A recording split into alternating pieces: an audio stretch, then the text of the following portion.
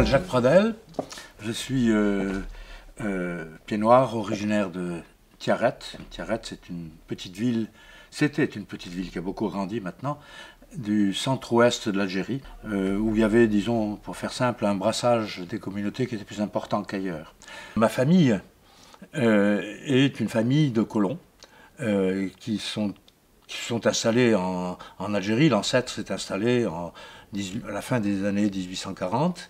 C'était un petit paysan euh, euh, du Tarn, chassé par, euh, par la misère, voilà, et qui a débarqué en, Algérie, et puis qui est arrivé dans la région de Tiaret, donc c'était loin de la côte. C'était, là pour le coup, une région qui était récemment conquise, entre guillemets, voilà. Et donc cet ancêtre a, eu a reçu un, une concession d'une quinzaine d'hectares euh, qu'il a travaillé euh, un petit peu. Je on connaît finalement peu de son parcours, sinon qu'il est mort de la rage. Euh, voilà, c'était avant Pasteur, donc il a été mordu par un chien enragé.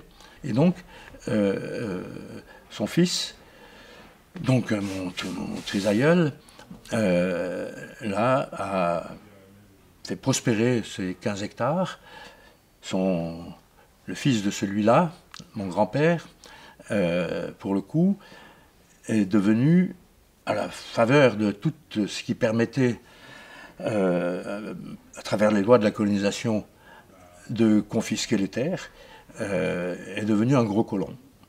Et donc mon grand-père, dans les années 30, avait 5000 hectares de terre. Donc suis originaire d'une famille, d'une famille privilégiés, de colons privilégiés.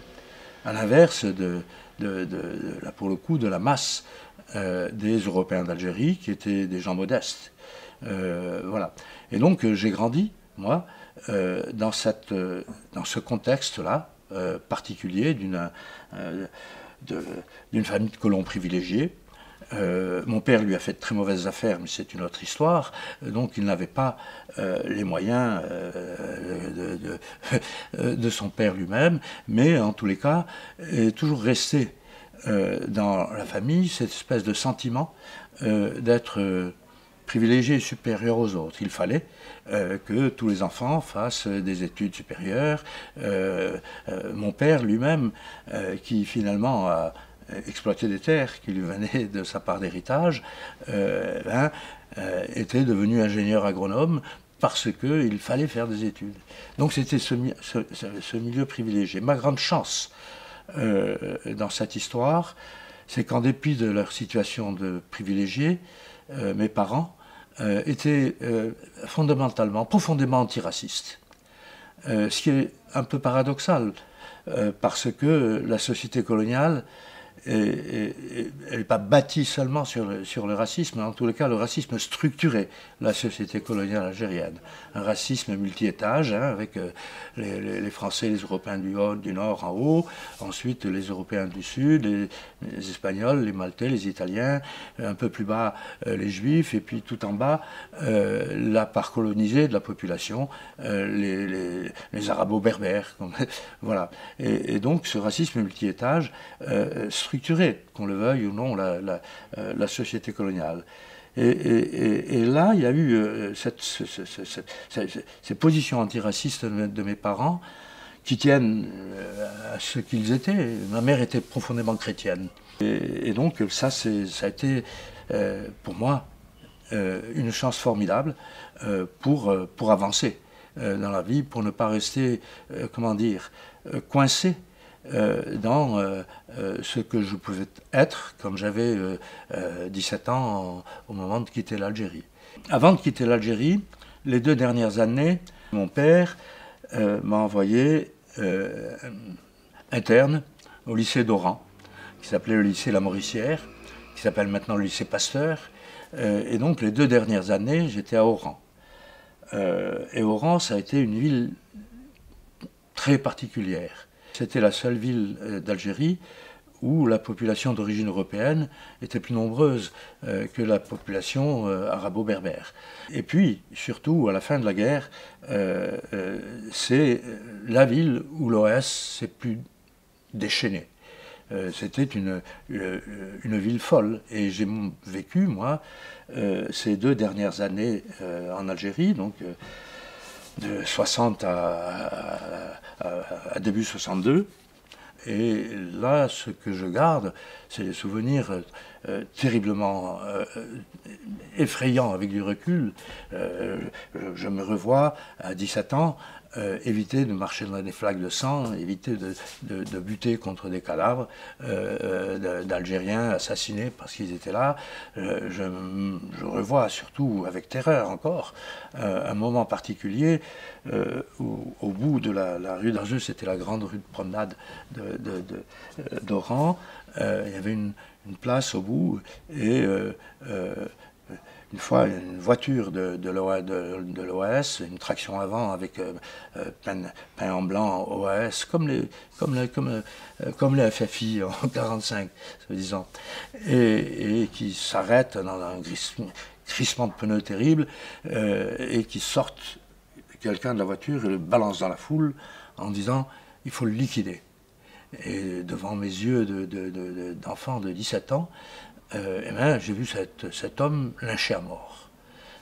donc je, garde là, de, ces moments à Oran euh, des souvenirs absolument terrifiants. Oran était une ville folle, euh, était une ville folle où la, partie européenne de la ville était aux mains de l'OAS. ni l'armée, ni la, gendarmerie française n'étaient les maîtres dans, la ville, c'était, l'OAS. Moi, je, garde de cette époque-là euh, des souvenirs complètement euh, euh, terrifiés, quoi. Voilà, bref. Et, ça, ça, ça m'a aussi, évidemment, beaucoup marqué. Et pourtant, et pourtant, de manière très confuse, eh ben, je restais vaguement, normalement, j'allais dire, Algérie française. Ça me semblait, voilà, c'était naturel en quelque sorte. Et, euh, c'est comme ça euh, que dans cet état d'esprit que je suis retourné à Tiaret finalement. C'était au mois de, euh, février ou mars 62.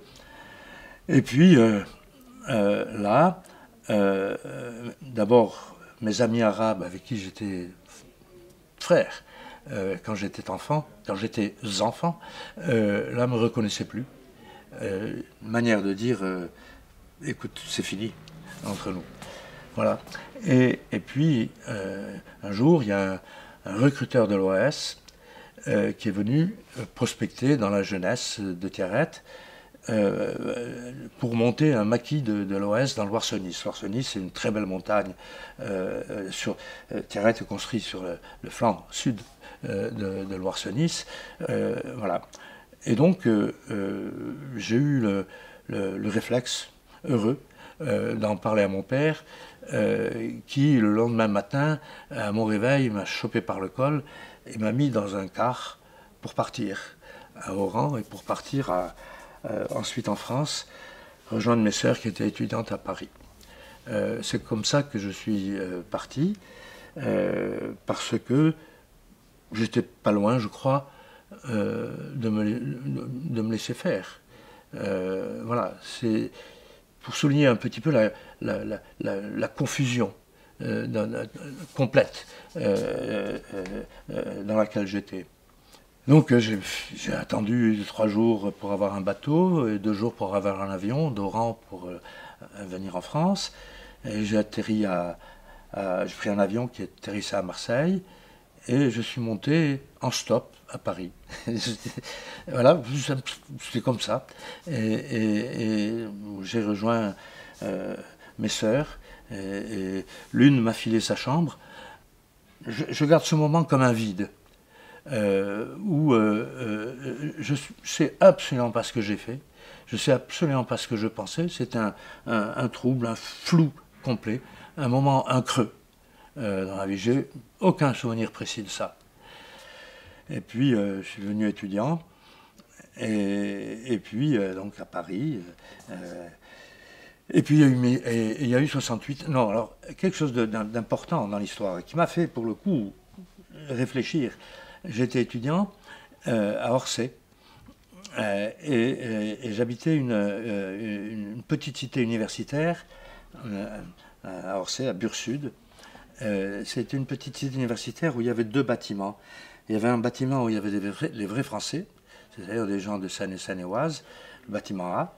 Et puis le bâtiment B, c'était le bâtiment réservé aux métèques.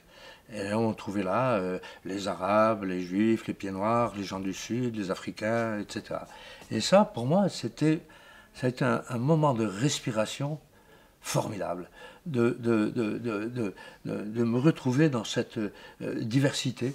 Ça, ça, a été pour moi une, comment, l'occasion d'une ouverture d'esprit, euh, d'un, euh, d'un retour sur, sur tant de choses qui me permettaient un petit peu, qui m'aidaient en tout cas à, comprendre la réalité de, du pays d'où je venais, de l'Algérie française. voilà. Et, donc ça, ça m'a euh, beaucoup aidé. Puis après, il y a eu 68. J'ai vécu, euh, euh, j'ai fait une carrière scientifique, et puis bref, j'ai un engagement politique, un engagement citoyen, etc.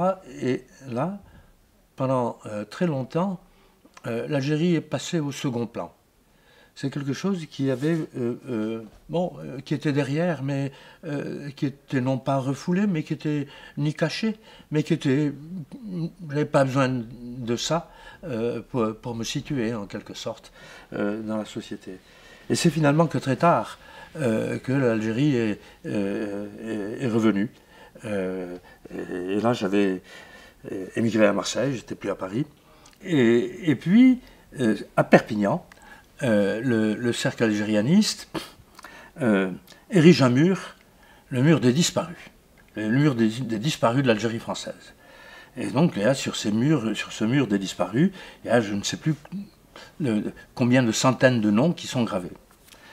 Et, donc là, euh, il y a un type de Perpignan qui s'adresse à un copain de Marseille d'ailleurs, qui s'appelle encore, il n'est pas mort, Donna, euh, qui lui dit Mais écoute, euh, j'ai vu sur le mur, le, mur de, des disparus du cercle algérianiste les noms de toute ta famille. Alors, il dit Mais c'est pas possible. Euh, moi, j'ai été victime d'un attentat de l'OS quand j'étais en Algérie. c'est une famille de communistes algérois. Et, la majorité des noms qui sont là, ce sont des gens qui sont vivants. Euh, etc. En tous les cas, euh, ceux qui sont morts n'étaient pas du tout des martyrs de l'Algérie française. Euh, au contraire, c'était des indépendantistes. Bref, et alors ça, ça, a été quand même un, moment qui a donné un coup d'accélérateur à cette idée-là. On ne peut pas leur laisser dire n'importe quoi. et donc là, on a décidé de créer l'association. Avec des amis. Et les amis, c'est autant, euh, autant des, des, Français dont le parcours personnel a croisé celui de l'Algérie qu'un certain nombre d'Algériens. Euh, encore qu'il soit aujourd'hui très difficile de vendre le terme de pied noir en Algérie, parce que c'est. Voilà.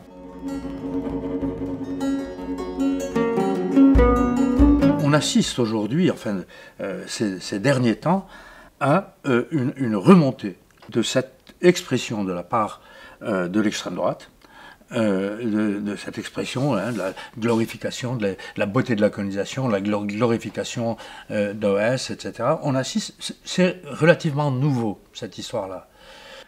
Et où il y a renouveau? Là, et là, c'est inquiétant parce que